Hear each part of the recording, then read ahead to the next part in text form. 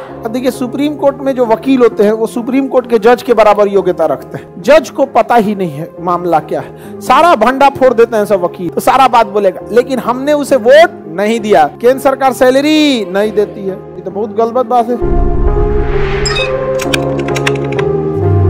देखिए, supreme court में जो वकील होते हैं, वो सुप्रीम कोर्ट के जज के बराबर योग्यता रखते हैं। तो इसकी जो योग्यता होती है महान्यायवादी की, ये एक्चुअल होता क्या है? वकील। क्या होता है? वकील। किसका वकील होता है? सेंट्रल गवर्नमेंट का। लेकिन इसकी योग्यता कितनी होती है? जज के बराबर। कहाँ के जज के बराबर, सुप्रीम? सुप्रीम कोर्ट के जज के बराबर।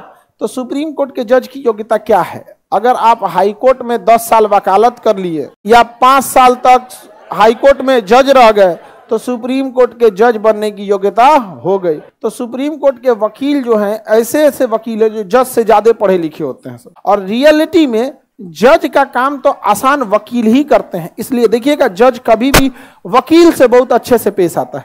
जज को पता ही नहीं है मामला क्या है। सारा भंडा फोड़ देते हैं सब वकील। तो जज क्या करता है? ऑर्डर ऑर्डर, लड़ो। तुम भंडा फोड़ो उसका, तू भंडा फोड़ेगा वहाँ पे, यहाँ पे। साहब इसी ने हत्या किया था। यही हत्या किया था यहाँ पर यहाँ पे। तू कहेगा, कैसे कह सकते हैं हत्या किया था? ये तो पीएमसीएच में एडमिट था उस दिन। देखिए यहाँ पर ये है एडमिट का यहाँ पर। इसका ऑपरेशन हुआ था यहाँ पे। तो सब एक दूसरे पे आरोप प्रत्यारोप लगाते रहेंगे, वो भी प्रमाण के साथ। जज का काम यही है कि अगर फर्जी सबूत दिया तो वकील को जेल भेज देंगे। और वकील का लाइसेंस होता है, जैसे गाड़ी का लाइसेंस होता है ना, वैसे बार एसोसिएशन से वकील का लाइसेंस, जज वकील का लाइसेंस है, क्या कर देगा? कैंसिल कर दे। तो जज का काम कुछ नहीं, चुपचाप दोनों को टुकुर टुकुर सुनता है। हाँ हाँ बोल बोल बोल बोल, तुम बोल। तो ये उसको बोलेगा, ये उसको बोलेगा, ये उसको बोलेगा, बस जज के सामने प्रॉपर सबूत जाना चाहिए। तो जज का काम कौन आसान करता है? वकील। मेहनत करके कौन आता है? वकील। सबूत में देखता है कौन है? वकील। इधर उधर क्रॉस चेक करेगा, वकील। आके बहस किसके सामने करेगा? जज के साथ हाँ? जज के साथ अब कुछ लोग कहते हैं, बिना वकील केस नहीं लड़ सकते। तो जो ससुरा लड़, गिर, ढह जाओ। बिना डॉक्टर ऑपरेशन नहीं करा सकते। चीर ले अपन किडनी चीर ले। अरे छोट मोट फुंसी उनसी आदमी फोड़ देता है। पिंपल उम्पल निकला तो चाप उप के बाहर फेंक देता है उसको। कि आपका ऑपरेशन कराना है किडनी का अपने से कर दीजिएगा इसे अपने। नहीं ना होगा।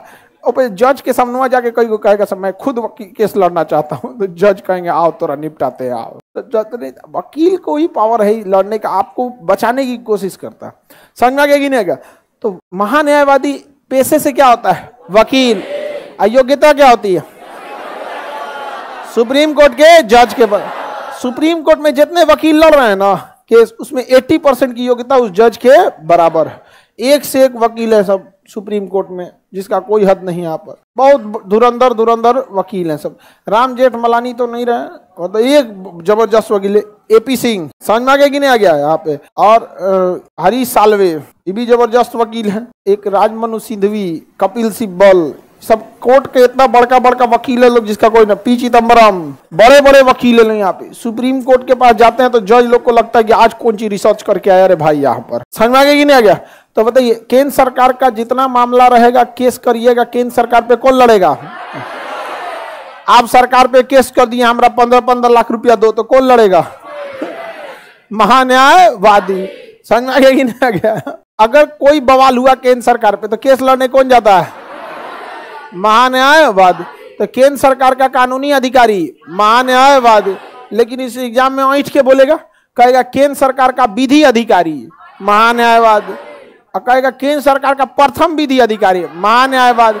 क्या यह सुप्रीम कोर्ट में केस लड़ सकता है? लड़ सकता हाई कोर्ट में लड़ सकता है, डिस्ट्रिक्ट कोर्ट में लड़ सकता कोई दिक्कत है किसी को? अरे कहीं भी लड़ सकता है। जो सुप्रीम कोर्ट में केस लड़ सकता है, वो डिस्ट्रिक्ट कोर्ट में नहीं लड़ेगा। डिस्ट्रिक्ट कोर्ट में मामला यूँ यूँ उड़ा देगा यहाँ पर। हालाँकि डिस्ट्रिक्ट कोर्ट में केस लड़ने के तरीके अलग होते हैं। वो छोटे सी छोटे चीज़ों पे क्या होता है? डिस्कस होता है। कई बार हाई कोर्ट जो होता है ना भेज देता है डिस्ट्रिक्ट कोर्ट के पास कि हमारे पास इतना टाइम नहीं है पहले छोट मोट लेवल का वहाँ सुनवाई करके आइए फिर हम आपके केस को क्या करेंगे? सुनेंगे यहाँ पर। ये सं, ये संसद में बैठता है मंत्रियों के बगल में और अगर मंत्री कभी फंस जाते हैं किसी कानूनी मामले में तो खड़ा होकर खुद सरकार का पक्ष लेता है कि ऐसे नहीं सरकार यहाँ सही है। जैसे समान सिविल संहिता जब आएगी तो सरकार से पचहत्तर को क्वेश्चन पूछा जाएगा क्या सही है क्या गलत है? आपको क्या लगता है सरकार में बैठे लोगों को इतना पता रहता है क्या सही है क्या गलत है? नहीं तो वो धीरे से खोद देगा से किसको? अटॉर्नी जनरल को। महाराज, बोलिए, दुका बोलता है आर्टिकल चौवालीस ये कौन सी है? कहेगा, हम हम संभालते हैं।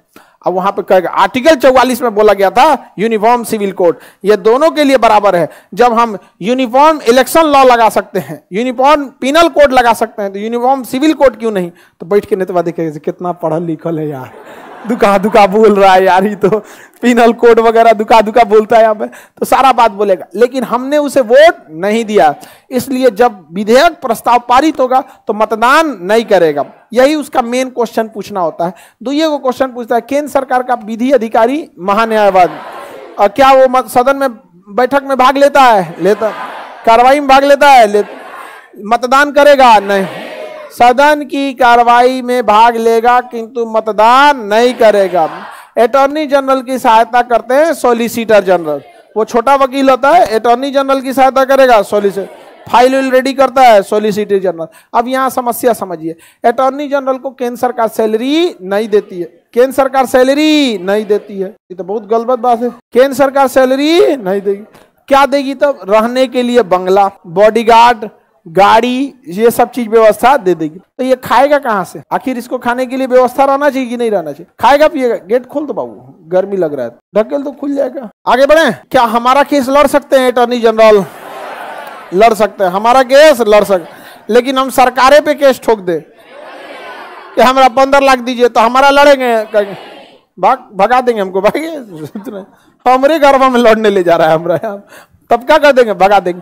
लेकिन दूसरा कोई मामला रहेगा तो लड़ लेंगे लेकिन केंद्र सरकार के खिलाफ नहीं लड़ेंगे, क्योंकि केंद्र सरकार का ही वो वकील है। और नहीं के खिलाफ आप कहिएगा। अब हमारे वकील से आके कहिएगा कि हमारे खिलाफ केस लड़ ले तो भगा नहीं देगा आपको।